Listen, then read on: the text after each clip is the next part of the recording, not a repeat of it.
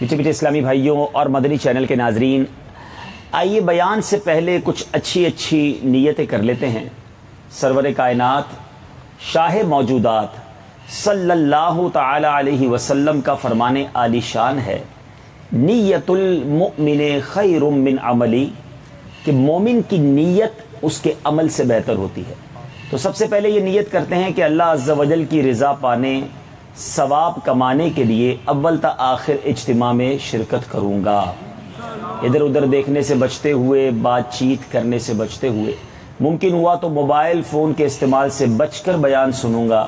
اور جو میرے بھائی نیچے بیٹھے ہیں، وہ ایک اور اچھی نیت بھی کر سکتے ہیں کہ بیان کی تعظیم کی نیت سے جتنی دیر ممکن ہوا دو زانو بیٹھ کر بیان سنوں گا۔ تو جس طرح آپ تحیات میں بیٹھتے ہیں، اس طرح بیٹھ جائیں۔ تو مزید آپ کا فوکس بھی رہے گا۔ مزید آپ با ادب بیٹھنے کی برکتیں پائیں گے۔ تھک جائیں تو پھر جیسے چاہیں بیٹھ جائیں۔ یاد آ جائے تو پھر دو زانو بیٹھ جائیں۔ تو انشاءاللہ اس سے مزید با ادب بیٹھنے کی برکتیں آپ پائیں گے۔ درود پاک پڑھنے کے بے شمار فضائل و برکات ہیں۔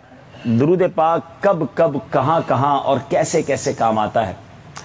ایک خوبصورت حدیث ہے۔ سرکار دو عالم صلی اللہ تعالی وسلم نے فرمایا السلاۃ علیہ نور یوم القیامتی۔ عند ظلمت الصراط۔ میرے آقا فرماتے ہیں کہ مجھ پر درود پڑھنا قیامت کے دن پل سرات کی تاریکی کے وقت نور ہوگا۔ پل سرات جو ہے، دنیا بھر میں کوئی بھی راستہ آسان جب پار کیا جا سکتا ہے، یا تو اس راستے پہ لائٹس لگی ہوئی ہوں، یا اجالا ہو، یا ہماری گاڑی میں یا ہماری سواری میں لائٹس ہوں۔ اندھیری رات ہو اور کوئی ایسا پل ہو نہ جس پر لائٹ ہو۔ اور آپ کے پاس بھی لائٹ نہ ہو تو کیسے پار ہوگا؟ اور پل سے رات کوئی بڑا برج نہیں۔ تلوار سے زیادہ تیز ہے اور بال سے زیادہ باریک ہے۔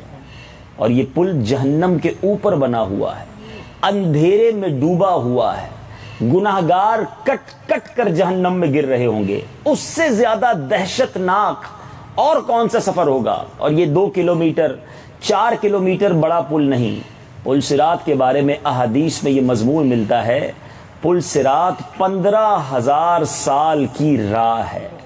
ففٹین تھاؤزینڈ ایئرز اگر کوئی گھڑ سوار گھوڑا دوڑائے، تو جتنا ڈسٹنس وہ طے کرتا ہے، اتنا زیادہ سفر ہے۔ پانچ ہزار برس لگیں گے اوپر چڑھنے کے لیے۔ پانچ ہزار برس کی راہ ہے اس پل پر۔ کراس کرنے کے لیے and then five thousand years پھر پانچ ہزار سال ہیں اس پل سے اترنے کے لیے. اتنا بڑا سفر. مگر اللہ کی رحمت جس کے ساتھ ہوگی، علماء فرماتے ہیں کچھ ایسے خوش نصیب بھی ہوں گے جو بجلی کی طرح گزر جائیں گے. کچھ پلک جھپکتے میں گزر جائیں گے. کچھ لڑکھڑاتے ہوئے گزریں گے. کچھ رینگتے ہوئے گزریں گے. اور کچھ ایسے بد نصیب بھی ہوں گے جو کٹ کر جہنم میں گر جائیں گے. یہ بڑا ہی خطرناک پل ہے. اور میرے آقا نے گویا اس اچھا پل سے رات سے ایسا نہیں کہ کوئی بچ کر نکل جائے گا۔ There is no shortcut we have to cross ہم سب کو برج آف سرات سے گزرنا ہے۔ مگر ہم میں سے کس نے اس کی فکر کی ہے؟ مگر نبی پاک علیہ سرات والسلام کیا فرماتے ہیں کہ جس قیامت کے دن مجھ پر درود پاک پڑھنا پل سرات کی تاریکی کے وقت نور ہوگا۔ اور آقا فرماتے ومن اراد ان یقتال لہو بالمکیال الاوفا یوم القیامہ فل یکثر من الصلاۃ علیہ۔ آقا فرماتے ہیں جو یہ چاہتا ہے، جسے یہ پسند ہو کہ قیامت کے دن یہ نور اور اجر و ثواب پورا پورا ملے، تو اسے چاہیے کہ مجھ پر بکثرت درود بھیجے۔ تو قیامت کے دن ان نیکیوں کو، ان برکتوں کو، اس نور کو حاصل کرنے کا طریقہ یہ ہے کہ آپ دنیا میں اپنا معمول بنائیں، اپنی ہیبٹ بنائیں کہ کثرت کے ساتھ درود پاک پڑھیں۔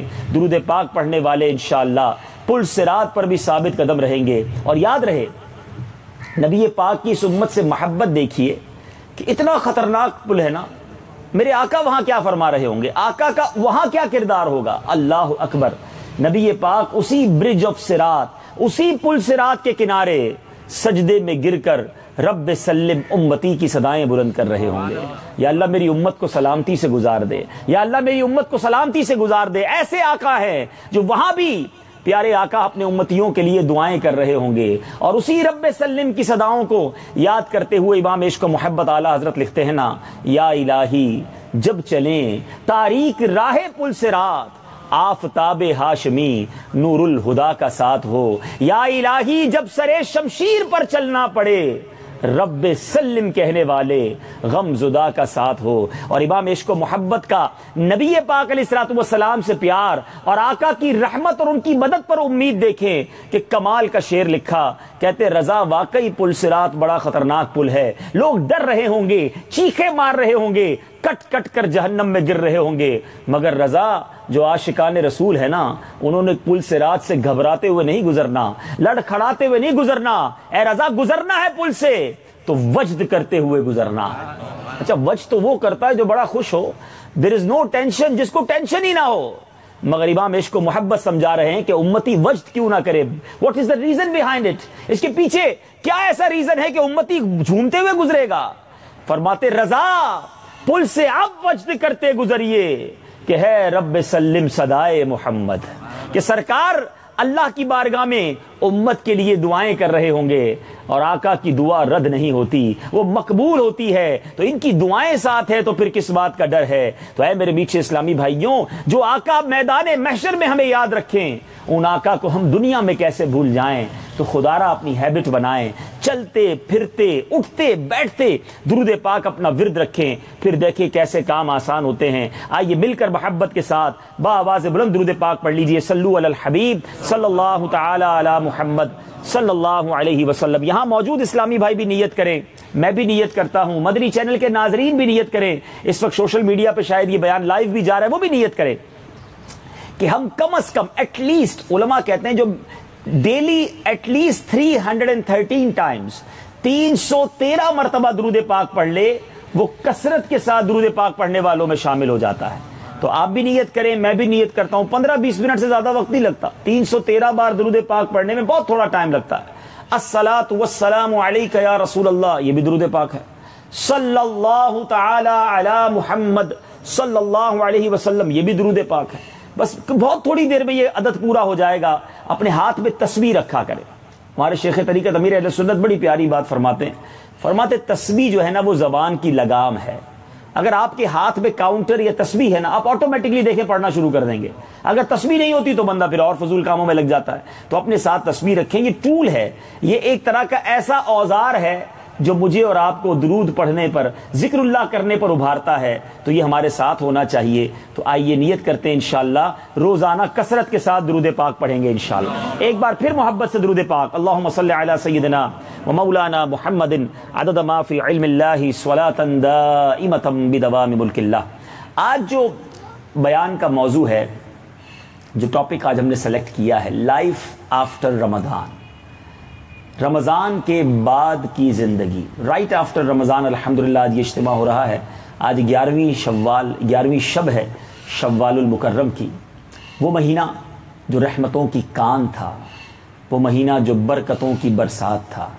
جس کا پہلا اشرا اشرہ رحمت، دوسرا اشرا اشرہ مغفرت، تیسرا اشرا جہنم سے آزادی کا اشرا لاکھوں نہیں، اللہ کی رحمت سے کروڑوں بخشے گئے ہوں گے۔ اس مہینے کی اہمیت کو سمجھنے کے لیے یہی حدیث کافی ہے کہ نبی پاک علیہ السلاۃ والسلام فرماتے ہیں کہ اگر میری امت کو پتا ہوتا، حدیث کا مضمون ہے، اگر میری امت جانتی کہ رمضان کیا ہے، تو تمنا کرتی کہ سارا سال رمضان ہوتا۔ صرف دس دن پہلے کی تو بات ہے، ہم سب نمازیں پڑھ رہے تھے۔ مسجدیں آباد تھیں، رونق لگی ہوئی تھی سحری کی رونقیں، افطاری کی برکتیں افطار کے وقت دعاؤں کی رکتیں، کیا سما تھا، کیا عبادتیں تھیں، مگر ایسا کیا ہو گیا کہ اب مسجد ویران نظر آتی ہے۔ اب مسلمان عبادتوں سے دور ہوتے نظر آتے ہیں۔ ان دس دنوں میں ہم نے پچھلے تیس دنوں میں کچھ پورے مہینے میں جو کچھ کمایا تھا، ایسا لگ رہا ہے آہستہ آہستہ سب گوا رہے ہیں۔ اے میرے بیچے اسلامی بھائیوں ٹرائی ٹو انڈرسٹینڈ ہم صرف رمضان کے لیے مسلمان نہیں تھے۔ ہم صرف رمضان کے لیے نمازی نہیں تھے۔ ہم صرف رمضان کے لیے اللہ کے بندے نہیں تھے۔ یقیناً رمضان میں عبادتوں کا ذوق بڑھ جاتا ہے اور اس کا بڑا پرٹیکولر ریزن ہے کہ جو ہمارا دشمن ہے، جو ہمارا اینیمی ہے، وہ بند تھا۔ شیطان کو قید کر دیا گیا تھا۔ وہی تو ہمیں عبادت سے روکتا ہے۔ وہی تو ہمیں گناہوں کی طرف لگاتا ہے۔ وہی تو ہمیں بری باتوں کی طرف ورگلاتا ہے۔ جب وہی بند تھا تو ہمارا رحمان سے ناتا مضبوط ہو گیا تھا۔ ہم مسجدوں کی طرف جانے لگ گئے تھے عبادت کا لطف آنے لگ گیا تھا۔ مگر ایسا کیا ہو گیا کہ ایک چاند نظر آتے ہی مسلمانوں نے مسجدیں آباد کر دی اور دوسرا چاند نظر آتے ہی مسجدیں ویران کر دی ایک چاند نظر آیا تو گویا ہم اللہ عز و جل کی بندگی میں لگ گئے۔ اور دوسرا چاند نظر آیا تو ہم اللہ کی نافرمانی میں لگ گئے۔ یاد رکھیے ہم زبان سے نہیں کہہ رہے۔ مگر بدقسمتی کے ساتھ جو میرے مدری چینل کے ناظرین بھی اس بیان کو سنیں کہ ہم اپنے زبان قال سے نہیں، مگر زبان حال سے یہ میسج دے رہے ہیں کہ شیطان تو بند تھا، تو ہم اللہ کی مان رہے تھے، اب تو باہر آ گیا ہے، ہم تیرے ساتھ ہیں۔ سوچے وہ لوگ کہ یہ کس طرح کا میسج کنوے ہو رہا ہے۔ حالانکہ قرآن پکار پکار کر کہہ رہا ہے ان لکم مبین۔ بے شک شیطان تمہارا کھلا دشمن ہے۔ مگر ہم نے شیطان کے ساتھ ایسا لگتا ہے دوستی لگائی ہوئی ہے۔ ہو سکتا ہے کوئی کہے کہ بڑی عجیب کا بات کر دی آپ نے، شیطان سے دوستی کون لگاتا؟ میں نے کہا نا، ہم کچھ چیزیں بیان نہیں کرتے، زبان سے نہیں کہتے، مگر ہمارا ایٹیٹیوڈ ہمارا انداز بتا رہا ہے کہ ہم شیطان کی کتنی بات مانتے ہیں۔ اپنے آپ سے پوچھئے نا، جس کی نمازیں قضا ہو رہی ہیں۔ کیوں قضا ہو رہی ہیں؟ اتنے کمزور ہیں ہم کہ شیطان آزاد ہوا تو اس نے نمازیں قضا کرانا شروع کر دی، اس نے ہمیں برائیوں میں لگانا شروع کر دیا، اس نے ہمیں اللہ تبارک و تعالیٰ کے ذکر سے دور کر دیا۔ میرے میٹھے اسلامی بھائیوں یہ ہم گویا اپنے ایٹیٹیوڈ سے میسج دے رہے ہیں کہ ہم شیطان سے دوستی لگا بیٹھے ہیں۔ شیطان کی باتیں ماننے والے بن گئے ہیں۔ آج کے اس مختصر سے بیان میں سب سے پہلے تو یہ ریئلائز کرنا ہوگا کہ شیطان سے بڑا ہمارا دشمن کوئی نہیں ہے۔ اور دوسری بات، ہمیں اپنے دشمن کے بارے میں پتا بھی ہونا چاہیے۔ دنیا بھر کا دستور ہے کہ جو جن کنٹری سے لڑائی ہوتی ہے، جن ملکوں سے دشمنی ہوتی ہے، اس کی فوج کے بارے میں، اس کے ہتھیاروں کے بارے میں، اس کے ویپنز کے بارے میں، اس کی اس کی سازشوں کے بارے میں معلومات لی جاتی ہے کہ وہ کیسے کیسے ہم پر حملہ کر سکتا ہے۔ جبھی تو آپ ریزسٹ کر سکیں گے نا۔ اگر دشمن کے بارے میں پتہ ہی نہیں ہوگا تو آپ کیسے اپنے آپ کو بچائیں گے؟ تو جس کو قرآن دشمن کہہ رہا ہے، اس کے بارے میں کوئی معلومات، کوئی اس کے ہتھیاروں کی معلومات، کوئی اس کی چالوں کی معلومات یہ چاروں خانے چت ہونے کے لیے تیار بیٹھے کہ آجا شیطان جیسے چاہے ہمارے ساتھ برا برتاؤ کر لے۔ یہ انسان اور خاص طور پہ مسلمان کا کام نہیں۔ ہمیں شیطان کا بھرپور تعارف بھی ہونا چاہیے اور اس کی چالوں کے بارے میں بھی معلوم ہونا چاہیے۔ ظاہر آج کے ایک بیان میں میں بہت کچھ تو بیان نہیں کر سکوں گا۔ مگر کچھ ہائی لائٹ کرنے کی کوشش کروں گا۔ سب سے پہلے شیطان کے بارے میں یہ جانتے ہیں کہ یہ کیا شروع ہی سے اللہ کا نافرمان تھا؟ ایسا نہیں۔ شیطان نے بڑی عبادتیں کی۔ وہ فرشتوں کا سردار، فرشتوں کا استاد بن گیا، معلم الملکوت۔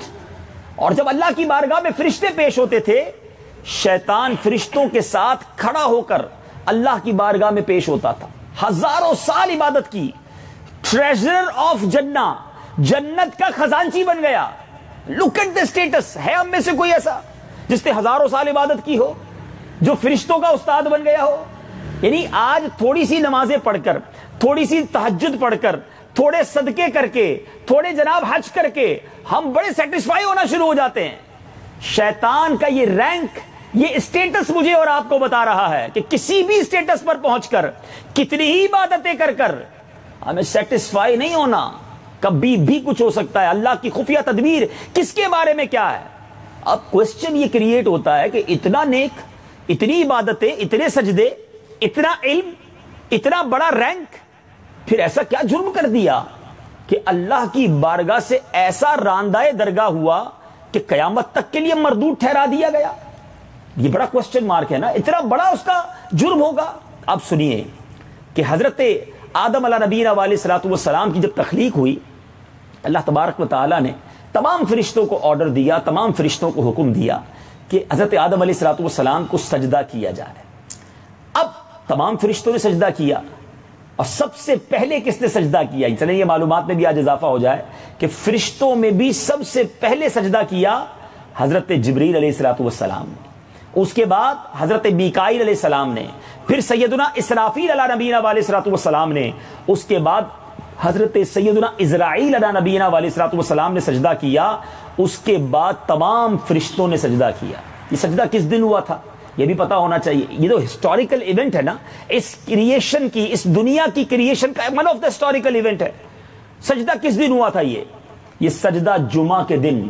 زوال کے وقت سے لے کر اثر تک سجدہ کیا گیا یہ اتنا لانگ سجدہ تھا کہ زوال سے شروع ہوا اثر تک فرشتے سجدے میں رہے۔ مگر ابلیس نے، اس شیطان نے انکار کر دیا۔ اور اس کی وجہ کیا تھی؟ اس کائنات میں سب سے پہلا جو گناہ ہے نا، وہ شیطان نے کیا۔ اور وہ گناہ کیا تھا؟ وہ گناہ تھا تکبر۔ ہیں؟ پراؤڈ کیا اس نے۔ قرآن کے الفاظ سنانے جا رہا ہوں۔ قرآن کہتا ہے کہ اس نے کیا کہا؟ انا خیر من، خلقتنی من ناریوں و خلقتہ من تین۔ یا اللہ، میں اس سے بہتر ہوں۔ انا خیر من، کیونکہ تو نے اس کو آگ سے پیدا کیا ہے اور مجھے مٹی سے پیدا، اس کو اس کو مٹی سے پیدا کیا ہے اور میں آگ سے بنا ہوں۔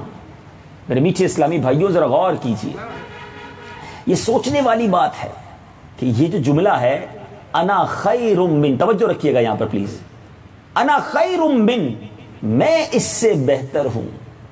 یہ تو روزانہ ہی کچھ لوگ کہہ رہے ہوتے ہیں، یا تو زبان سے کہہ رہے ہوتے ہیں، یا ایٹیٹیوڈ سے کہہ رہے ہوتے ہیں۔ جس شیطان نے ایک بار یہ کہا کہ میں اس سے بہتر ہوں، اس کی ساری عبادتیں، ساری ریاضتیں، سارا رینک برباد ہو گیا۔ اور جو روز کہتا ہے میں اس سے بہتر ہوں، میں امیر ہوں، یہ غریب ہے میں خوبصورت ہوں، یہ بدصورت ہے۔ میں عزت والا ہوں، یہ بے عزت ہے۔ میرا خاندان بہت بڑا ہے، یہ تو ذرا کمزور خاندان والا ہے۔ میں گاڑی والا ہوں، یہ رکشے والا ہے۔ کسی نہ کسی طریقے سے جو بندہ اپنے آپ کو سپیریئر سمجھ رہا ہے، یہ تو وہی تو جرم ہے جو شیطان نے کیا تھا۔ اس نے تو ونس ان لائف کیا، برباد ہو گیا۔ جو روز کر رہا ہے، وہ اللہ کو کیا جواب دے گا؟ اب آئیے شیطان کے بارے میں۔ آپ نے سن لیا کہ وہ برباد ہوا۔ قرآن کہتا ہے، اللہ تبارک مطالعہ نے اس تکبر کی بنا پر اس سے کیا فرمایا؟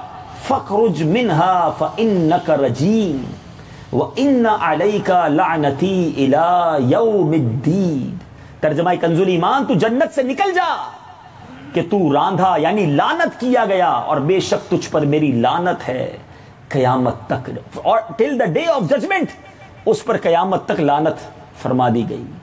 تو اے میرے بیچ اسلامی بھائیوں، اب اس شیطان نے کیا کیا؟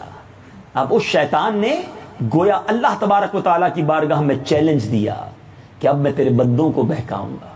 اور اب اس نے، ذرا غور کیجیے گا، اب میں جو مکالمہ بیان کرنے جا رہا ہوں، اور اللہ تبارک و تعالیٰ نے جب شیطان کو بردود کیا نا، تو شیطان نے کیا کہا کہ الہی، تو بنی آدم میں پیغمبروں کو بھیجے گا اور اپنی کتابیں نازل کرے گا۔ میرے بھی پیغمبر ہونے چاہیے، میری بھی کتابیں ہونی چاہیے۔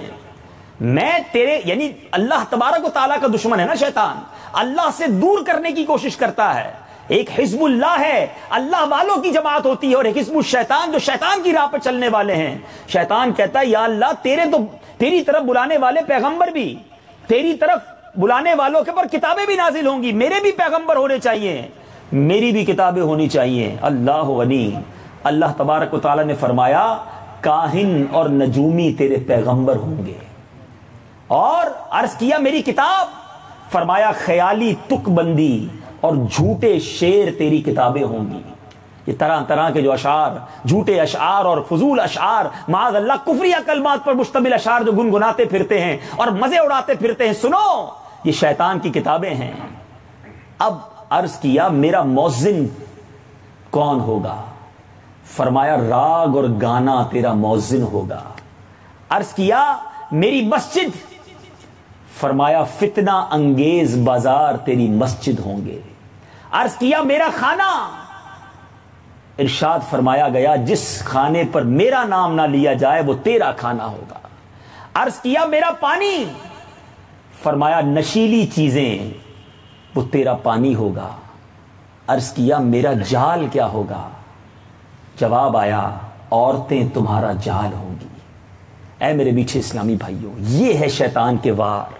یہ ڈسکرپشن یاد ہونی چاہیے کہ آج ہم نے نجومیوں کے پاس جا کر فال نکالنے والوں کے پاس جا کر معاد اللہ، ایسے ایسے عاملین آ گئے ہیں جو گھروں کو برباد کرنے کے لیے تلے ہوئے ہیں۔ آج چھوٹا سا مسئلہ ہو جائے، لوگ جا کر ایک ایسے عامل کے پاس بیٹھ جاتے ہیں جو ایک وقت کی نماز نہیں پڑھتا۔ ارے، اس کے مریدین اور اس کے چیلے کہتے ہیں کہ جناب ہمارے بابا جی تو مکے میں سہر پڑھتے ہیں، مدینے میں اثر پڑھتے ہیں۔ ارے، کسی قسم کا اس کے اندر شریعت کا کوئی تعلق نہیں۔ اور اس سے اپنے معاملات پوچھ رہے ہوتے ہیں اور طلاقیں ہو رہی ہیں، گھر برباد ہو رہے ہیں۔ یہی تو شیطان چاہتا تھا۔ آج شراب عام ہوتی جا رہی ہے۔ یہ شیطان کا پانی ہے۔ آج ناچ گانے عام ہوتے جا رہے ہیں۔ یہ شیطان کی اذان ہے۔ آج بازاروں میں حرام کام ہو رہا ہے۔ یہ شیطان کی مسجدیں ہیں۔ اے میرے بیچ اسلامی بھائیوں، آج بے پردہ عورتیں، بے حیا عورتوں کے ساتھ دوستیاں لگائی جا رہی ہیں۔ اور کیا کچھ نہیں ہو رہا انٹرنیٹ کے ذریعے۔ یہی تو شیطان کا جال ہے۔ اور ہم اس شیطان کی تمام باتوں میں ایسا لگتا ہے۔ چاروں طرف سے جکڑتے چلے جا رہے ہیں۔ اللہ بھلا کرے ہمارے زین بھائی کا،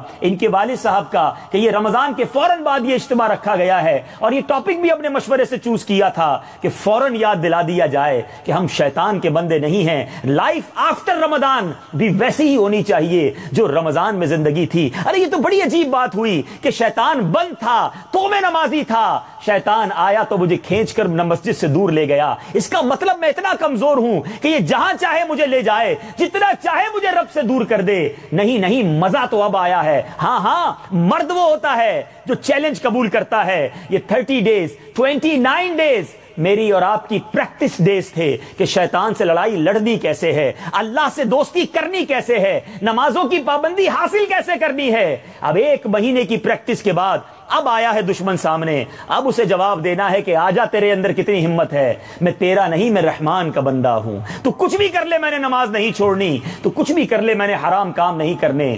مگر انفارچونیٹلی بدقسمتی کے ساتھ بڑی تعداد میں مسلمان شیطان کے واروں میں مبتلا ہوتے جا رہے ہیں۔ جو کمایا ہے پورے مہینے میں، ایسا لگتا ہے وہ کمائی لٹاتے چلے جا رہے ہیں۔ تو ہے میرے میٹھے اسلامی بھائیوں، آج اس اجتماع کا مقصد ہی یہی ہے کہ اس کنیکشن کو، اس روحانیت کو، اس برکت کو پھر سے جوڑ لو کہ ہم نے اللہ سے دور نہیں ہونا۔ میرے میٹھے اسلامی بھائیوں، میں نے دو تین بڑے دلچسپ واقعے آپ کو سنانے ہیں۔ بظاہر تو اس کو آپ لطیفہ بھی کہہ سکتے ہیں چٹکلا بھی کہہ سکتے ہیں، مگر مولانا روم نے مصنوی شریف میں لکھا اور علماء نے اپنی بڑی بڑی کتابوں میں یہ واقعات لکھے اور ان حکایتوں کو لکھنے کے بعد ہمیں سمجھایا کہ دیکھو یہ ہوتا ہے شیطان۔ اب ایک واقعہ کیا ہے کہ ایک بار مصنوی شریف میں مولانا روم نے لکھا کہ ایک شخص منڈی سے ایک دمبا خرید کر لایا اور اس دمبے کو رسی سے باندھا اور آگے آگے چلتا رہا۔ پیچھے مڑ کے ایک بار بھی نہیں دیکھا۔ رسی ہاتھ میں ہے، چلی جا رہا ہے، چلی جا رہا ہے۔ ایک شخص آیا اور اس نے پیچھے سے رسی کاٹی اور اس کا دمبا لے کے نکل گیا۔ بہت دیر کے بعد اس کو خیال آیا، جب اس نے پیچھے مڑ کے دیکھا تو صرف رسی ہاتھ میں دمبا غائب۔ یہ کیا ہو گیا میرے ساتھ؟ اب پریشان آگے گیا تو ایک کنواں نظر آیا۔ اس کنویں کے کنارے پہ ایک شخص بڑا افسردہ بیٹھا ہے۔ کہ کیا ہو گیا؟ کیوں افسردہ ہو؟ کہ کنویں میں میرا بٹوا گر گیا ہے اور اس میں سو روپے ہیں۔ مجھے کوئی کنویں سے وہ بٹوا لا دے تو پچاس اس کو دے دوں گا۔ ابھی شخص نے سوچا پچاس روپے کا دمبا چوری ہو گیا۔ یہ موقع اچھا ہے ریکوری کا۔ دم، اس بندے نے کپڑے اتارے اور کنویں میں چھلانگ لگا دی۔ بڑا تلاش کیا، بڑا تلاش کیا، کوئی بٹوا نہ ملا۔ واپس اوپر آیا تو کپڑے بھی غائب تھے۔ اب جسم پر کپڑا بھی نہیں اور دمبا بھی نہیں۔ اب مولانا روم نے اس واقعے کو نکلنے کے بعد، پورا بیان کرنے کے بعد سمجھایا کہ یہ ہے شیطان، کہ جو لوگ اپنے دین سے غافل رہتے ہیں، اپنے ایمان سے غافل رہتے ہیں، اپنی عبادتوں سے غافل رہتے ہیں، ہم صرف رسی لے کر ہی تو چل رہے ہیں نا۔ پیچھے دین کی کیفیت کیا ہے، ایمان کی مضبوطی کیا ہے، نمازوں کا حال کیا ہے۔ صرف ایمان کہلانے والے، مسلمان کہلانے والی رسی ساتھ ہے۔ فرمایا، بہت عرصے کے بعد مڑ کر دیکھتے ہیں تو ایمان ہی چھن گیا ہوتا ہے۔ امال ہی برباد ہو گئے ہوتے ہیں۔ اور پھر شیطان ایسا مردود ہے کہ مزید حرص اور لالچ میں گرفتار کر کے پہلے ایمان اور اعمال لے گیا اور اس کے بعد ہماری حیا بھی لے گیا۔ آج کیا نہیں ہو رہا ہمارے معاشرے میں؟ کس قدر اوریانی ہے، کس قدر فحاشی ہے، آج ایک صحیح شرم و حیا والا شخص کیا کسی فیملی کی دعوت میں جا سکتا ہے جس کی واقعی نظروں میں حیا ہو؟ سمجھ نہیں آتا کہ اچھے خاصے نیک نمازی کہلانے والوں، گھر والوں کی عورتوں کو کیا ہو گیا ہے؟ اس قدر بے حیائی اس قدر مکس گیدرنگ کا رواج آ گیا لوگ کہتے ہیں جناب زمانہ آگے چلا گیا ہے۔ ارے زمانہ کتنا بھی آگے چلے جائے، ہمارا اسلام تو ہم سے نہیں گیا، ہماری حیا تو ہم سے نہیں گئی، نبی پاک سے محبت تو ہم سے نہیں گئی، ہماری ہماری اقدار تو ہم سے نہیں گئی۔ میرے بیٹھے اسلامی بھائیوں سمجھنے والی بات ہے، یہ شیطان یہی تو کرتا ہے۔ ایک اور واقعہ مستوی شریف میں مولانا روم نے لکھا کہ ایک درزی تھا اور اس درزی کے بارے میں مشہور تھا، بڑا چالاک بھی ہے۔ اور جو بھی کپڑا سلوانے آیا اس کے کپڑے کو چوری کر لیتا ہے۔ اس کے کپڑے میں سے کوئی نہ کوئی حصہ کاٹ لیتا ہے۔ اب جناب، ایک پولیس والا گیا اور جا کر کہا کہ میں پولیس والا ہوں اور بڑا ہوشیار ہوں۔ مجھے تمہارے بارے میں پتا چلا ہے، تم کپڑے کو چوری کر لیتے ہو۔ خبردار جو میرے کپڑے کے ساتھ کچھ کیا کہ جناب، کمال ہو گیا۔ ایسا تو میں کچھ بھی نہیں کرتا سامنے بیٹھے آپ کے سامنے آپ کا کوٹ سیتا ہوں۔ تو کہا، ٹھیک ہے، دیکھو، کوئی گڑبڑ نہیں کرنا، کہا، بالکل گڑبڑ نہیں کروں گا۔ اب کوٹ سیتے سیتے کہا، حضور، آپ فارغ بیٹھے ہیں، آپ کو ایک لطیفہ سناتا ہوں۔ ایک مزاحیہ بات سناتا ہوں کہ چلو سناؤ۔ اب اس درزی نے، اس کو بڑے لطیفے یاد تھے۔ ایک لطیفہ سنایا۔ جیسے ہی لطیفہ سنایا تو پولیس والا ہنستے ہنستے ہنستے لوٹ پوٹ ہو گیا۔ جیسے ہی اس کا سر نیچے ہوا، اس نے کوٹ کا ایک پیس کاٹ لیا، کپڑے کا ٹکڑا کاٹا اور سائڈ پہ رکھ لیا۔ تھوڑی دیر بعد پھر کہتا، حضور اور سناؤ، کہا اور سناؤ۔ پھر سنایا، ہنستے ہنستے اس کا منہ نیچے ہوا، دوسرا ٹکڑا کاٹ لیا کپڑے کا۔ تھوڑی دیر بعد وہ، اب پولیس والا کہتا ہے، بھائی اور سناؤ۔ کہ حضور سنا تو دوں گا، کوٹ آپ کا چھوٹا ہو جائے گا۔ تو مولانا روم نے لکھا کہ یہ ہے شیطان۔ سمجھو کہ تمہیں باتوں میں لگا کر، تمہیں دنیا کے نظاروں میں گم کر کے، تھوڑا تھوڑا کر کے تمہارے اعمال، تمہاری نیکیاں، تمہارا ایمان برباد کرتا چلا جا رہا ہے۔ اور تمہیں پتا بھی نہیں چل رہا۔ یہ ایسا مکار ہے میرے بیچ اسلامی بھائیو، سمجھنے کی کوشش کریں۔ One of the biggest enemy ذرا سمجھیے مقابلہ کس سے، میرا اور آپ کا۔ اس وقت بھی وہ ہمیں دیکھ رہا ہے۔ ہم اسے نہیں دیکھ سکتے۔ مجھے اور آپ کو نیند آتی ہے، اس کو نیند نہیں آتی۔ میں اور آپ تھکتے ہیں، وہ تھکتا نہیں۔ وہ خون کی طرح جسم میں دوڑتا ہے۔ اتنا خطرناک اینیمی ہے، مگر فکر ہی نہیں ہے ٹینشن ہی نہیں۔ اور اس کا ایم کیا ہے؟ الٹیمیٹ گول شیطان کا ہم سب سے ٹارگٹ کیا ہے؟ تو ہمارے پیسے تھوڑی چاہتا ہے۔ First of all he need اس کی اس کی خواہش یہ ہے کہ ہمارا ایمان ہم سے چھین لے۔ اور یہ آخر وقت تک کوشش کرتا ہے۔ یہاں تک روایتوں کا مضمون ہے کہ بندے کا جب آخری وقت آتا ہے نا، آپ کو میں لاجیکلی سمجھانے کی کوشش کرتا ہوں کہ آخری وقت جو ہوتا ہے نا، سکرات کا عالم it's not easy time difficult ترین وقت ہوتا ہے، زبان بھاری ہو جاتی ہے۔ ایک عالم دین کا کمال جملہ تھا، مجھے بہت یاد رہ گیا ہے۔ چلے میں ان کی یوں سمجھے کہ ان کے لیے بھی ثواب جاریہ ہو جائے گا دوہرا دیتا ہوں۔ اور مجھے بہت پسند آیا ان کا جملہ۔ وہ فرماتے ہیں، جب جب موقع ملے، کلمہ شریف پڑھتے رہا کرو۔ کیونکہ جب زبان بھاری ہو جائے گی، اس وقت کلمہ پڑھنا مشکل ہوگا۔ لیکن جس کی عادت ہوگی نا، اس کی زبان پر کلمہ جاری ہو جائے گا۔ اب اس کو ایگزامپل کے ذریعے سمجھیں۔ جن لوگوں کی ماشاءاللہ کلمہ شریف کی دروش شریف کی، غوث اعظم رضی اللہ تعالیٰ کو پکارنے کی عادت ہوتی ہے، گاڑی میں جا رہے ہوں، اچانک بریک لگے، جھٹکا لگے، ان کی زبان سے فوراً کلمہ پاک نکلتا ہے۔ یا غوث اعظم، یا رسول اللہ اللہ مدد، کچھ نہ کچھ اچھی بات منہ سے نکلتی، کیوں؟ کہ ان کی زبان عادی ہوتی ہے اچھی بات کرنے کی۔ تو ڈیفیکلٹ ٹائم میں بھی فوراً زبان سے اچھی بات نکلتی ہے۔ ایسا ہوتا ہے؟ اور جس کی گالیاں دینے کی عادت ہوتی ہے، جس کی فحش باتیں کرنے کی عادت ہوتی ہے، ہم نے دیکھا ہے کہ کوئی ایسا جھٹکا لگے، کوئی ایسا دھکا لگے، ان کی زبان سے اس وقت بھی بری بات نکلتی ہے۔ سوچیں کہ ایسی زبان آدھی بنا دی بری چیزوں کی، تو سکرات کی بات ہو رہی تھی کہ آپ مثال کے طور پہ گرمی سے آئیں، دھوپ پڑ رہی ہو، بڑے پریشر میں ہوں، تھکے ہوئے، پسینے سے شرابور آ کر اپنے کمرے میں بیٹھیں اور آتے ہی کوئی آپ سے سوال شروع کر دے، یہ بتاؤ یہ بتاؤ یہ بتاؤ، تو آپ کیا کہتے ہیں؟ یار ابھی رک جاؤ بھائی۔ ابھی بالکل دماغ کام نہیں کر رہا ہے، بہت گرمی سے آیا ہوں، بہت ٹینشن میں ہوں، تھوڑا سانس لینے دو مجھے، پانی پلاؤ، تھوڑی دیر بعد بات کرنا۔ ایسا ہوتا ہے نا؟ یعنی جب آپ فرسٹریٹ ہوں، جب آپ ٹائرڈ ہوں، تھکے ہوئے ہوں، آپ سوال جواب کی کیفیت میں نہیں ہوتے۔ آپ بات نہیں کر سکتے انڈرسٹینڈنگ ڈیفیکلٹ ہوتی ہے۔ سکرات اللہ غنی۔ موت کی تکلیف جو ہے، وہ مردہ ہی جانتا ہے۔ اللہ مجھے اور آپ کو موت کی تکلیف سے محفوظ فرمائے۔ ورنہ روایتوں کا مضمون ہے کہ موت اس سے زیادہ سخت ہے کہ بندے کو تلواروں سے کاٹا جائے، چیرا جائے۔ موت اس سے زیادہ سخت ہے کہ اسے ہانڈی میں ابالا جائے۔ اب ایسی حالت میں بھی مردود کیا کرے گا؟ بندے کے سامنے آ جائے گا اور کسی مرحوم کی شکل میں آئے گا۔ کسی کے باپ کا انتقال ہو گیا اس کی شکل میں آئے گا، والدہ کی شکل میں آئے گا۔ مامو دادا، دادی کی شکل میں آئے گا، جس کا انتقال ہو گیا۔ اور آ کر کہے گا کہ بیٹا، مرنے کے بعد ہمیں پتا چلا کہ اسلام صحیح مذہب نہیں ہے۔ تو اسلام سے پھر جا۔ معذ اللہ، جس کا ایمان کمزور رہا، جو شیطان کی باتیں زندگی میں بھی مانتا رہا۔ ڈر ہے کہ آخری وقت اس کی بات مان کر اپنا ایمان کھو دے گا۔ اعلی حضرت نے یہی بات تو سمجھائی ہے کاش سمجھیں ہم، سونا جنگل رات اندھیری، چھائی بدلی کالی ہے۔ سونے والو، جاگتے رہیو چھوڑو چوروں کی رکھوالی ہے۔ یہاں شیطان نے اپنے چیلے چپاٹے چھوڑے ہوئے ہیں۔ عجیب سما ہے کہ ہم اسلام دیکھیں نا، اب یہ ماشاءاللہ گھر ہے۔ آپ کو گھر بنانا، آپ کس سے بناتے ہیں؟ بلڈر سے بناتے ہیں یا موچی سے بناتے ہیں؟ بلڈر سے بناتے ہیں نا۔ آپ کو دوائی لینی ہو تو ڈاکٹر کے پاس جاتے ہیں دودھ والے کے پاس جاتے ہیں؟ ڈاکٹر کے پاس جاتے ہیں۔ اچھا جناب، گاڑی خراب ہو جائے۔ تو آپ سوچے چلو یار، آج گاڑی خراب ہوئی ہے۔ میکینک کے بجائے میں ایسا کرتا ہوں، مسجد کے امام صاحب کے پاس چلا جاتا ہوں۔ آپ کہیں گے، امام صاحب دعا تو کر دیں گے، گاڑی میکینک نہیں بنانی ہے۔ تو جس چیز کی ضرورت ہے، آپ اس چیز کے ایکسپرٹ کے پاس جاتے ہیں۔ مگر کمال یہ ہے، بلکہ وبال یہ ہے کہ اسلام سیکھنے کے لیے لوگ ہر کسی کے پاس چلے جاتے ہیں۔ جس کو نہ دین کا پتا ہے، نہ علم دین حاصل ہے، نہ وہ کسی جگہ پر علم اس نے پڑھا ہے۔ ہر شخص اپنا اسلام بیان کر رہا ہے اور لوگ اس کی سن بھی لیتے ہیں اور پھر کنفیوز بھی ہو جاتے ہیں۔ یہی تو شیطان کا چال، شیطان کی چال ہے نا۔ اعلیٰ حضرت نے کمال شیر لکھا اور کمال محاورہ استعمال کیا۔ فرماتے ہیں، آنکھ سے کاجل صاف چرا لیں۔ یہاں وہ چور بلا کے آنکھ سے کاجل کوئی کیسے چرا سکتا ہے؟ آنکھ کے اندر ہی کاجل ہوتا ہے نا۔ مگر امام اہل سنت نے اس محاورے کے ذریعے سمجھایا کہ ایسے چور ہیں اسلامی لبادے میں آئیں گے، اپنے آپ کو اسلامک اسکالر کہیں گے اور تمہیں ایسی بات بتا کر چلے جائیں گے کہ تمہیں اللہ سے ہی دور کر دیں گے۔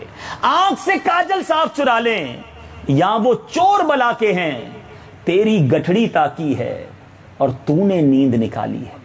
خدارا جاگتے رہیے، اپنے ایمان کی، اپنے اعمال کی، اپنے عقیدے کی حفاظت اپنے کرنی ہے۔ کیونکہ مقابلہ بڑے سخت اینیمی سے، اور جو میں عرض کر رہا تھا کہ اس کا گول کیا ہے؟ پہلے ایمان چھین لے۔ اب دیکھتا ہے بندہ بڑا نیک ہے، نمازی ہے، شراب تو نہیں پیے گا، بدکاری تو نہیں کرے گا، ڈکیتی بھی نہیں کرے گا۔ اب کیا کروں؟ چھوڑتا پھر بھی نہیں۔ مذہبی الیے والوں سنو، جو نمازیں پڑھتے وہ بھی سنیں۔ اب شیطان کیا کرتا ہے؟ کہ کسی طرح ان کی نیکیوں میں خرابی پیدا کر دوں۔ ان کے اچھے اعمال ان کو برباد کر دوں۔ اور وہ کیا ہے؟ شرک ازغر حدیث میں شرک ازغر کہا گیا ریاکاری کو، دکھلاوے کو، جو لوگ عبادت کر کے دوسروں کو بتانا چاہتے ہیں، دوسروں سے واوا چاہتے ہیں۔ عبادت بھی کی اور ضائع ہو گئی۔ حدیث کا مضمون ہے کہ قیامت کے دن جن لوگوں نے دوسروں کو دکھانے کے لیے عبادتیں کی ہوں گی، قیامت کے دن انہیں کہا جائے گا، جاؤ، اپنا اجر ان سے لے لو کہ جن کے لیے کام کیا تھا۔ اس دن کدھر جائیں گے ہم؟ نمازیں منہ پہ مار دی گئی یہ ریاضتیں منہ پہ مار دی گئی صدقے، خیرات منہ پر مار دیے گئے کہ تم نے تو لوگوں کے لیے کیا تھا۔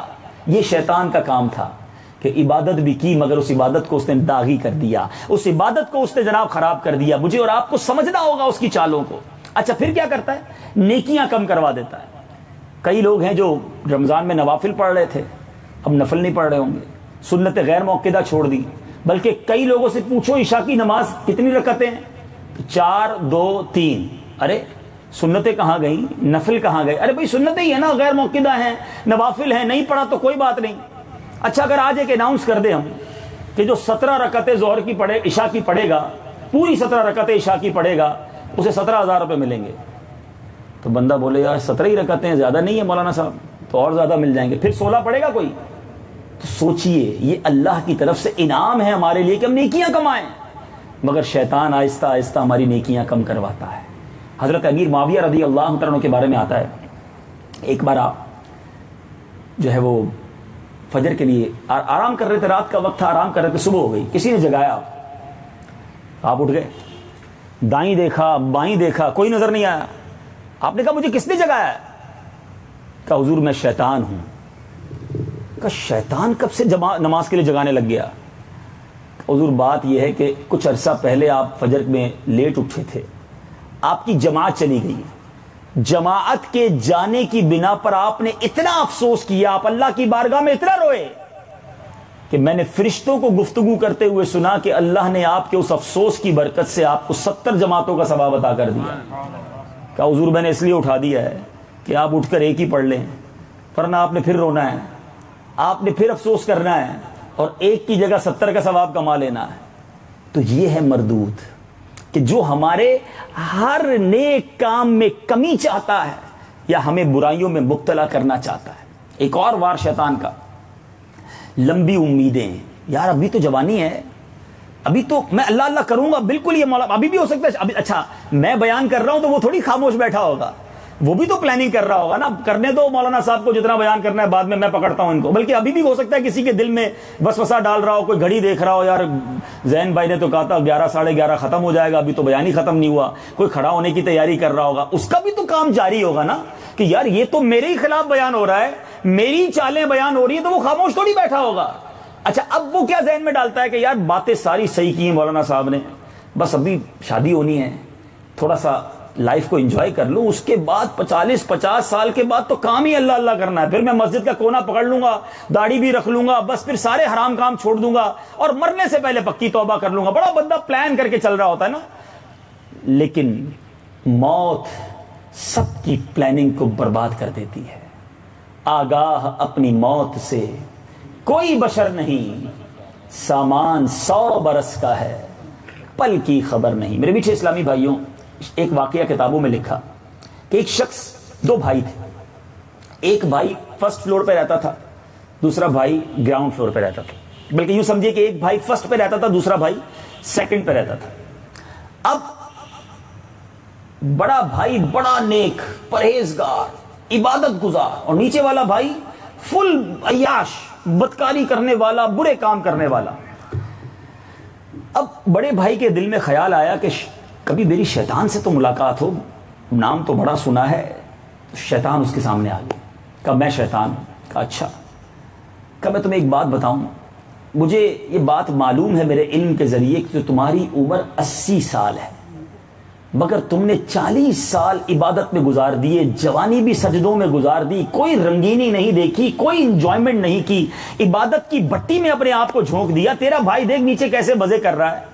تیری مرضی ہے، باقی میں تجھے بتا دوں، تیری عمر اسی سال ہے۔ تھوڑا انجوائے بھی کر لے، پھر توبہ کر لینا۔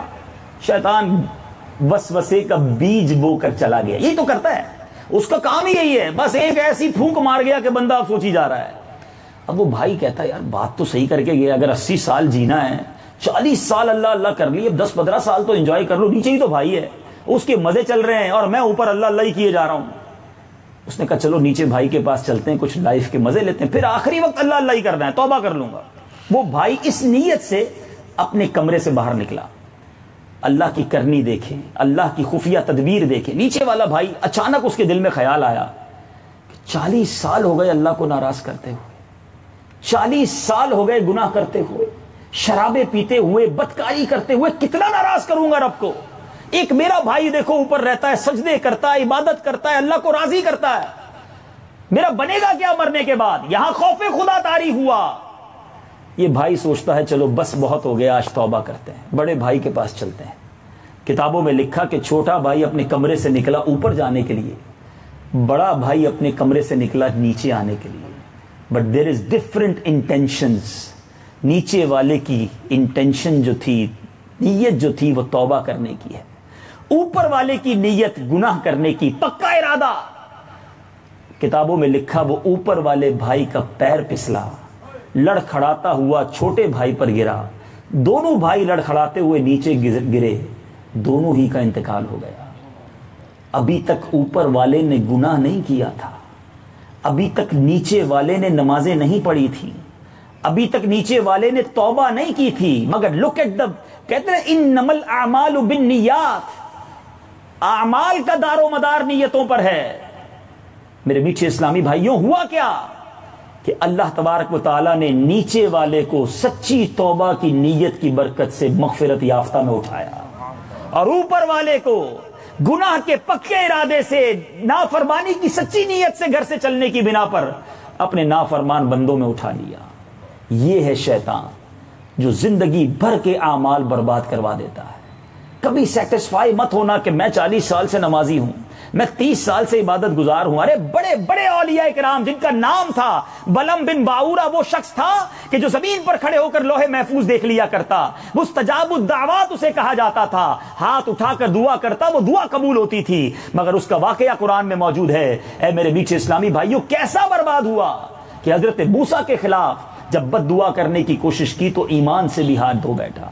اور اصحاب کہف واقعہ طویل ہے، مگر اشارتن بات کر دیتا ہوں کہ اصحاب کہف جو تھے، ان کے ساتھ ایک رکھوالی کرنے والا چوکی داری کرنے والا، ساتھ رہنے والا کتا بھی تھا۔ مگر وہ کتا بلعم بن باورا کی شکل میں جنت میں جائے گا۔ اور بلم بن باورا اللہ کی نافرمانی کرنے کی وجہ سے کتے کی شکل میں جہنم میں جائے گا۔ یہ ہے اللہ کی خفیہ تدبیر۔ اور یہ ہے شیطان کے وار، جو بندے سے ایک ایسی غلطی کرواتا ہے۔ کہ اس کا ایمان برباد ہو جاتا ہے، اس کے اعمال برباد ہو جاتے ہیں۔ تو ٹرائی ٹو انڈرسٹینڈ ہمارا مقابلہ کسی چھوٹے اینیمی سے نہیں ہے، مگر گھبرانا بھی نہیں ہے۔ شیطان کتنے ہی طاقتور کیوں نہ ہو، میرا رب سب سے زیادہ طاقتور ہے۔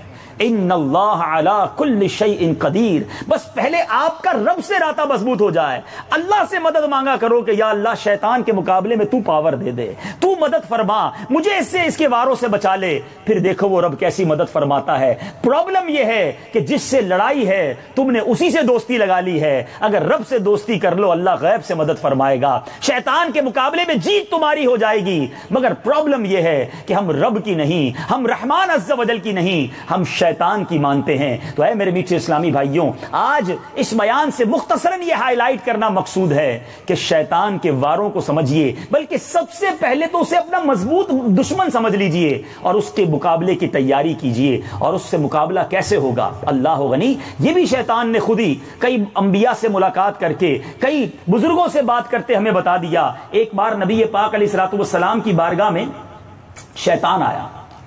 خدا تعالیٰ نے، بلکہ ایک واقعہ نظرت المجالس میں ہے کہ اللہ تبارک و تعالیٰ نے جب نماز کا حکم دیا نا، تو شیطان نے چیخ ماری، دردناک چیخ ماری۔ اس کی چیخ کی آواز سن کر، اس کا سارا لشکر اس کے پاس جمع ہو گیا کہ کیا ہو گیا؟ تو شیطان نے پریشان حال ہو کر نماز کے فرض ہونے کے بارے میں بتایا کہ نماز فرض کر دی گئی ہے۔ شیطان نے کہا، جہاں تک تم سے ہو سکے لوگوں کو نماز کے اوقات میں کسی اور دھندے میں مشغول رکھو، جس سے انہیں نماز پڑھنے کی فرصت ہی نہ ملے۔ شیاطین بولے، اگر ایسا نہ کر سکے ہم پھر بھی پڑھ لے نماز تو؟ تو کہا پھر یوں کرو کہ جب کوئی شخص نماز پڑھنے کھڑا ہو جائے نا، تو تم چار شیطان اس کو گھیر کر کھڑے ہو جانا۔ دائیں طرف کھڑا ہونے والا یوں کہے کہ ذرا بائیں طرف دیکھ۔ بائیں طرف والا کہے ذرا دائیں طرف دیکھ۔ اوپر کھڑا ہونے والا یوں کہے کہ ذرا آسمان کی طرف دیکھ۔ نیچے کھڑا ہونے والا اسے نیچے دیکھنے کی ترغیب دے، رغبت دلائے اور جلدی جلدی نماز ختم کرنے کا وسوسہ ڈالے۔ اور خوب یاد رکھو، اگر ان تمام کوششوں کے باوجود یہ بندہ نماز پڑھنے میں اگر مشغول رہا، تو ہمارا بیڑا غرق ہو جائے گا کیونکہ اللہ تعالیٰ اس کی بخشش فرما دے گا۔ اٹ از نماز۔ یہ ہے ویپن یہ ہے شیطان کا مقابلہ۔ کہ اللہ کی بارگاہ میں سجدے کرو، یہ شیطان پر بڑے بھاری ہیں۔ مگر ایسا لگتا ہے پہلے دن ہی میں اس نے چت کر کے رکھ دیا۔ چاند رات ہی کو مسجد خالی ہو گئی۔ اے میرے پیچھے اسلامی بھائی، نماز پلر ہے اسلام کا۔ نماز دین کا ستون ہے۔ کسی کسی گھر کا پلر نکال دیں کہ اب گھر کھڑا رہے گا۔ میرے اور آپ کے ایمان کا پلر نماز ہے، مگر نماز ہی ہم چھوڑ دیتے ہیں۔ نماز کو دین کا ستون کہا گیا۔ نماز مومن کی معراج ہے۔ نماز نبی پاک علیہ السلاۃ والسلام کی آنکھوں کی ٹھنڈک ہے۔ نمازی کو قیامت کے دن نبی پاک علیہ السلام والسلام کی شفاعت نصیب ہوگی and one of the biggest انعام. اس سے بڑا انعام میں نہیں سمجھتا دنیا میں کوئی اور ہو سکتا ہے، نہ آخرت میں کوئی ہو سکتا ہے۔ اور وہ کیا انعام ملے گا نمازی کو؟ کہ اس کو اللہ تبارک و تعالیٰ کا دیدار کرایا جائے گا۔ نمازی مبارک ہو تمہیں، مگر جو نماز قضا کرتا ہے، جان بوجھ کر نماز قضا کرتا ہے، اس کا نام جہنم کے دروازے پر لکھ دیا جائے گا۔ جس دروازے سے اسے انٹر ہونا ہے اس کی قبر حدیث کے الفاظ ہے میرے آقا نے اپنی انگلیوں کو اس طرح جوڑ کر بتایا کہ بے نمازی کو قبر اس طرح دبائے گی کہ اس کی پسلیاں ٹوٹ پھوٹ کر ایک دوسرے میں پیوست ہو جائیں گی۔ آج کوئی مضبوط آدمی عید کے دن گلے ملے اور ہمیں دبائے تو چیخ نکل جاتی ہے، مگر جب قبر دبا کر پسلیاں توڑ دیں گی تو کس کو پکاریں گے؟ اللہ تبارک و تعالیٰ بے نمازی کے ساتھ سختی کے ساتھ حساب لے گا۔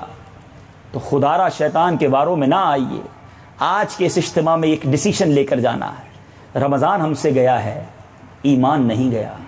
رمضان ہم سے گیا ہے، عشق رسول نہیں گیا۔ رمضان ہم سے گیا ہے، اللہ سے ہمارا تعلق ہم سے نہیں گیا۔ ہم صرف رمضان کے مسلمان نہیں، بس آج ایک پکی سچی نیت کر کے جاؤ کہ انشاءاللہ آج کے بعد ہماری کوئی نماز قضا نہیں ہوگی۔ آج کے بعد انشاءاللہ گناہوں کے قریب بھی نہیں جائیں گے۔ اور جو جو جو گناہ کر رہا ہے، مجھے سارے گناہ گنوانے کی بھی ضرورت نہیں اگر کوئی حرام روزی کما رہا ہے، کوئی حرام چیزوں کو دیکھ رہا ہے، کوئی حرام چیزوں کو سن رہا ہے، کوئی حرام بول رہا ہے، توبہ کر لے۔ کیونکہ ہم شیطان کی باتوں میں کیسے آ جائیں؟ اور رحمان عز و جل سے کیوں دور ہو جائیں؟ اس کے واری یہی ہیں کہ ہمیں گناہوں میں مبتلا کر کے جہنم کی طرف لے جائے۔ انشاءاللہ جنت ہمارے آقا کی ہے۔ اللہ کی رحمت سے جنت کی جو ملکیت ہے، جنت کا مالک جو ہے نبی پاک علیہ السلاط والسلام کو رب نے بنایا ہے، تو اللہ کی رحمت سے نبی پاک کے امتی ہیں ہم ہم رسول اللہ کے، جنت رسول اللہ کی۔ ہم انشاءاللہ جنت میں جائیں گے، لیکن نبی پاک کی سنتوں پر عمل کر کے اور نمازیں پڑھ کے اور گناہوں سے بچ کر جائیں گے۔ اب آخری بات، باتیں تو سمجھ آ رہی ہیں اور نیت بھی آپ نے کر لی ہے، مگر اس پر پنکچوالٹی کیسے حاصل ہوگی؟ اس کو کنفرم ہم کیسے کر سکتے ہیں کہ جو آج میں نے نیت کی ہے، وہ کل سے ہونا بھی شروع ہو جائے گا۔ نیتیں تو بہت ساری کی، پہلے بھی کی ہیں۔ تو اس کے لیے کچھ اسٹیپ فارورڈ کرنا ہوگا۔ مثال دیتا ہوں۔ ہمیں مسجد میں ایک بچہ ملے۔ آپ روز نماز پڑھنے جائیں اور ایک بچہ ملے اور کہے کہ جناب، دعا کر دیں، حضرت میں میٹرک میں پاس ہو جاؤں۔ دوسرے دن نماز پڑھنے جائیں، پھر ملے کہ حضرت دعا کر دیں میٹرک میں پاس ہو جاؤں۔ تیسرے دن امام صاحب کو بھی کہ امام صاحب ذرا نماز کے بعد دعا کر دیں کہ میں میٹرک میں پاس ہو جاؤں۔ چوتھے دن کوئی اس بچے سے پوچھ لے، بیٹا، یہ بتاؤ کون سے اسکول میں پڑھتے ہو? تو بچہ جواب دے، میں تو اسکول میں پڑھتا ہی نہیں ہوں. اب آپ کیا کہیں گے؟ کمال آدمی ہو۔ روز ہم سے کہتے ہو، میٹرک پاس ہونے کی دعا کر دے، اسکول میں ہی داخلہ نہیں لیا۔ پھر کیسے پاس کرو گے میٹرک؟ ہم میں سے بہت سو کا حال پتہ کیا ہے؟ ہم سارے کہتے دعا کریں، نیک بن جاؤں۔ دعا کریں، میں اچھا اچھا انسان بن جاؤں۔ بہت اچھی بات ہے۔ اچھا انسان بننے کے لیے آپ نے کیا کیا ہے؟ آپ نے کون سے اسٹیپ فارورڈ کیا ہے؟ کون سے اسکول میں داخلہ لیا ہے؟ اب بات سمجھ رہے ہیں؟ میں کچھ نہ کروں، میرا کوئی پلان نہیں نماز پڑھنے کا، میرا کوئی پلان نہیں فلمیں چھوڑنے کا، میرا کوئی پلان نہیں حرام روزی چھوڑنے کا، میرا کوئی پلان نہیں سنت پر عمل کرنے کا۔ ہاں تمنا رکھتا ہوں، نیک ہو جاؤں۔ اب اس میں کوئی لاجک بنتی ہے؟ ہمیں پہلے کوئی اسٹیپ اٹھانا چاہیے۔ پہلے ہم نماز شروع کریں، پھر اللہ سے دعا کریں، یا اللہ کرم فرما نماز کا پابند بنا دے۔ ہم ایک گناہ چھوڑیں جو واقعی میرے لیے ڈیفیکلٹ تھا کہ رات کو میوزک سنے بغیر نیند نہیں آتی تھی۔ مگر آج رات میوزک نہ سن کر اللہ سے دعا کروں، اللہ آج رات میں نے کیا ہے۔ باقی راتوں پر تو استقامت دے دے۔ یا اللہ میں فلمیں دیکھے بغیر نہیں سو سکتا تھا۔ آج میں نے ٹی وی نہیں آن کیا ہے، مالک تو مجھے مدینے کی یادوں میں کھونے والی نیند عطا فرما دے۔ ہم دعا تو کریں نا۔ مگر ایک سٹیپ فارورڈ بھی تو کریں۔ اللہ کی رحمت کی طرف ایک قدم بڑھاؤ۔ پھر دیکھو میرے مولا کی رحمت کیسے دوڑتی ہوئی تمہاری طرف آتی ہے، اپنی رحمت کے سائبان میں کیسے تمہیں چھپاتی ہے؟ یہ پہلے مجھے اور آپ کو ڈیسائیڈ کرنا ہوگا کہ مجھے جنت کی طرف قدم بڑھانا ہے کہ نہیں، رحمت الہی کی طرف آگے بڑھنا ہے کہ نہیں، کہ فقط سوچتا ہی رہوں گا کہ نیک بن جاؤں، گناہ چھٹ جائیں، سوچنے سے نہیں، کچھ کرنے سے ہوگا۔ کیجیے، پھر دعا کیجیے۔ دیکھیں کیسے برکتیں ملتی ہیں۔ اور میرے بیچے اسلامی بھائیوں، اس کے لیے سب سے پہلا کام ہمیں انوائرمنٹ تبدیل کرنا ہوگا۔ اس وقت بہت سارے بھائی میرے بیٹھے ہیں۔ میں اتنے سارے اسلامی بھائیوں سے ایک سوال کرنا چاہتا ہوں۔ کسی کے ذہن میں اس وقت کسی فلم دیکھنے کا خیال آ رہا ہے؟ نہیں آ رہا ہوگا۔ کسی کا اس وقت معذ اللہ کوئی حرام کام کرنے کا جی چاہ رہا ہے؟ نہیں چاہ رہا ہو کیوں؟ یہ انوائرمنٹ ہمیں اللہ اور اس کے رسول کی باتیں سننے پر مجبور کر رہا ہے۔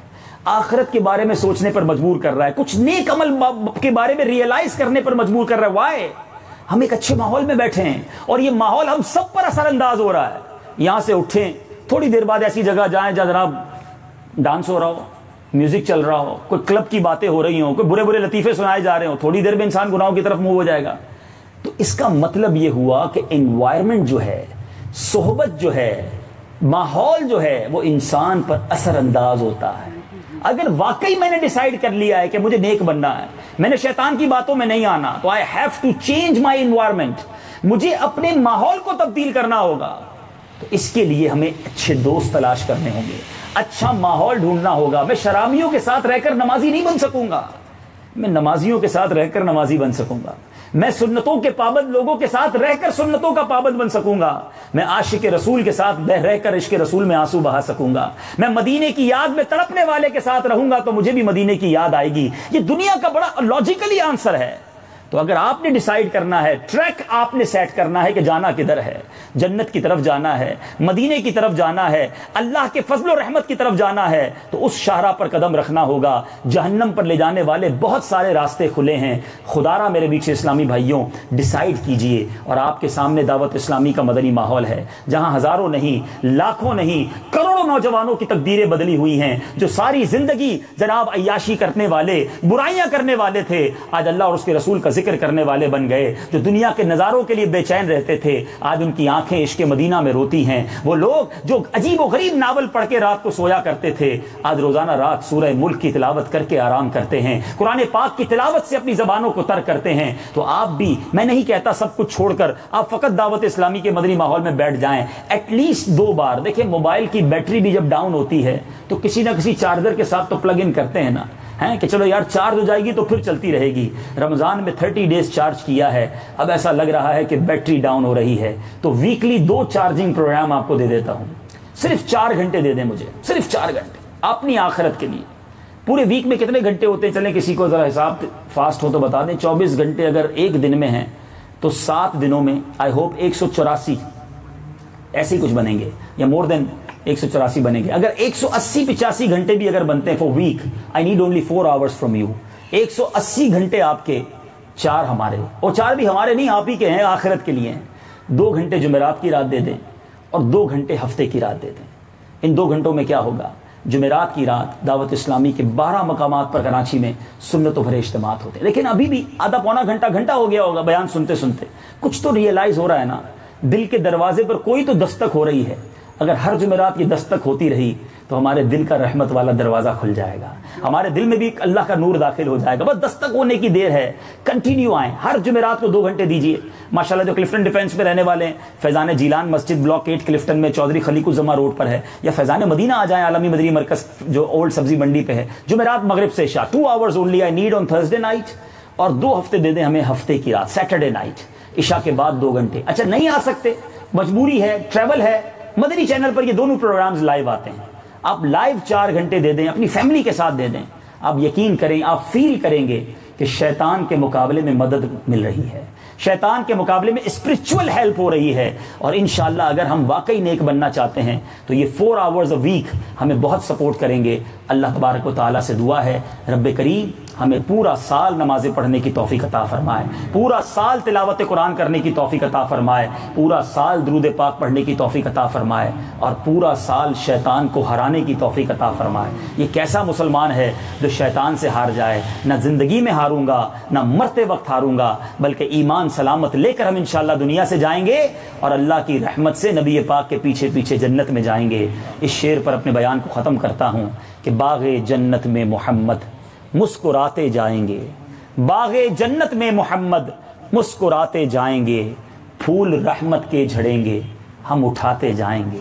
خلد میں ہوگا ہمارا داخلہ اس شان سے۔ یا رسول اللہ کا نعرہ لگاتے جائیں گے۔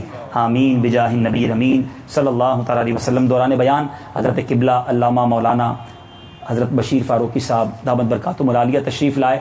ان کی برکتیں اللہ ہمیں عطا فرمائے، اللہ ان کے علم و عمل میں، تقوی میں اور برکتیں عطا فرمائے۔ پوری دنیا میں جو یہ کوششیں کر رہے ہیں، اللہ ان کوششوں کو اپنی بارگاہ میں قبول فرمائے۔